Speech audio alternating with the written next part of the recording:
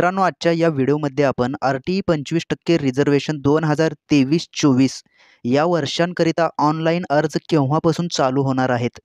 आणि बालकाचे वय किती असलं पाहिजे? याची संपूर्ण माहिती आपण या व्हिडिओमध्ये पाहणार आहोत. तत्पूर्वी मित्रांनो आपल्या या चॅनलवरती आर टी ई संदर्भात भरपूर व्हिडिओ येणार आहेत. जसे की ऑनलाईन फॉर्म कसा भरायचा आणि कोठे भरायचा? ऑनलाईन फॉर्म भरण्यासाठी कोणकोणती कागदपत्रे लागणार आहेत?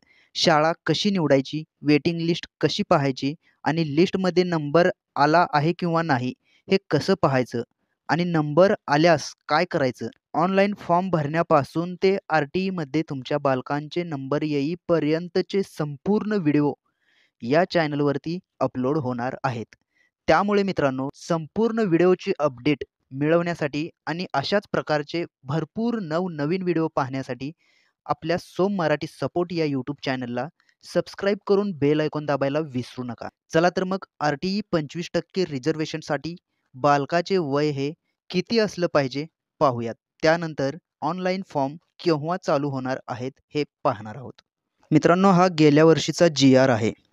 या जी आरचा अंदाज लावून मित्रांनो तुम्ही दोन हजार तेवीस चोवीससाठी आपल्या बालकाचं वय हे किती असलं पाहिजे याचा अंदाज तुम्ही लावू शकता. दोन हजार तेवीस चोवीसचा जी आर अजून आलेला नाही मित्रांनो. तो जी आर आल्याच्यानंतर सर्वात प्रथम तुम्हाला या चॅनलवरती पाहायला भेटणार आहे. गेल्या वर्षीच्या जी आरनुसार वय किती असलं पाहिजे हे आपण पाहूयात. उपरोक्त संदर्भ क्रमांक एकच्या शासन निर्णयाच्या अनुषंगाने सन दोन हजार बावीस तेवीस या शैक्षणिक सत्रात शाळा प्रवेशासाठी बालकाचे किमान वय निश्चित करण्याबाबत खालीलप्रमाणे सूचना देण्यात येत आहे. शाळा प्रवेशासाठी बालकाचे किमान वय निश्चित करण्याबाबत दिनांक अठरा नऊ दोन हजार वीस रोजीच्या शासन निर्णयान्वये मानीव दिनांक एकतीस डिसेंबर करण्यात आला आहे. शासनाने किमान वयोमर्यादा ठेवलेली आहे परंतु कमाल वयोमर्यादा नाही.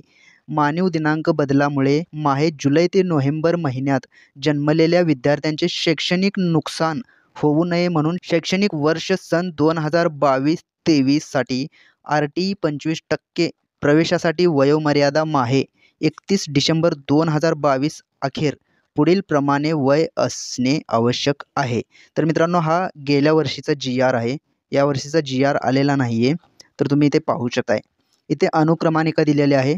इथे प्रवेशाचा वर्ग दिलेला आहे मित्रांनो तुम्ही पाहू शकताय. प्ले ग्रुप नर्सरी त्याच्या पुढे तुम्ही वयोमर्यादा पाहू शकताय. एक एक जुलै दोन हजार अठरा एकतीस डिसेंबर दोन हजार एकोणीस.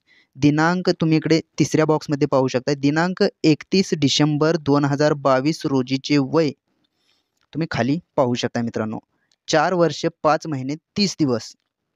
दोन नंबरला पाहू शकताय ज्युनियर के जी तुम्ही ते वयोमर्यादासुद्धा पाहू शकता एक जुलै दोन हजार सतरा एकतीस डिसेंबर दोन हजार अठरा. आणि तुम्ही ते वय पाहू शकताय पाच वर्ष पाच महिने तीस दिवस. त्यानंतर तीन नंबरला पाहू शकताय सिनियर के जीसाठी मित्रांनो एक जुलै दोन हजार सोळा एकतीस डिसेंबर दोन हजार सतरा. यांचं वय तुम्ही पाहू शकताय सहा वर्ष पाच महिने तीस दिवस. त्यानंतर इयत्ता पहिलीसाठी किती वय असलं पाहिजे तुम्ही पाहू शकताय एक जुलै दोन हजार पंधरा एकतीस डिसेंबर दोन हजार सोळा. आणि वय असलं पाहिजे मित्रांनो तुम्ही इथे पाहू शकताय सात वर्ष पाच महिने तीस दिवस. तर मित्रांनो तुम्ही इथे पाहू शकताय प्ले ग्रुप नर्सरीसाठी ज्युनियर के जीसाठी सिनियर के जीसाठी आणि इयत्ता पहिलीसाठी. हे किती वय असलं पाहिजे तुम्ही या बॉक्समध्ये पाहिलेलं आहे. आणि आता थोडंसं खाली पाहूयात मित्रांनो आर टी पंचवीस टक्के प्रवेशाकरिता वयोमर्यादाबाबत आपल्या स्तरावरून मोफत प्रसिद्धी देण्यात यावी. वयोमर्यादेबाबत ऑनलाईन पोर्टलवर तसेच सर्व शाळांना आपल्या स्तरावरून कळविण्यात यावे. जेणेकरून या कार्यालयाकडे वयोमर्यादेबाबतची कोणतीच तक्रारी येणार नाही. ही मित्रांनो गेल्या वर्षीची वयोमर्यादा होती आणि मित्रांनो दोन हजार तेवीस चोवीससाठी ऑनलाईन अर्ज हे केव्हापासून चालू होणार आहेत? तर मित्रांनो दरवर्षी आर टी ई पंचवीस टक्के रिझर्वेशन अंतर्गत ऑनलाईन हे जानेवारी किंवा फेब्रुवारी या महिन्यामध्ये ऑनलाईन फॉर्म हे जाहीर केले जातात. ऑनलाईन फॉर्म भरणे चालू होतात. तर मित्रांनो आर टी पंचवीस टक्के रिझर्वेशन दोन हजार तेवीस चोवीससाठी वय किती असलं पाहिजे आणि ऑनलाईन फॉर्म केव्हा चालू होणार आहेत? याच्याबद्दल महत्त्वपूर्ण असा हा व्हिडिओ.